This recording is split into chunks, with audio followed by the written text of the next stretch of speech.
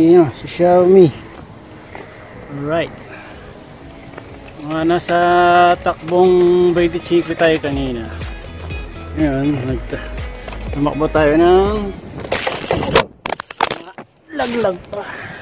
Oh my God! Wow!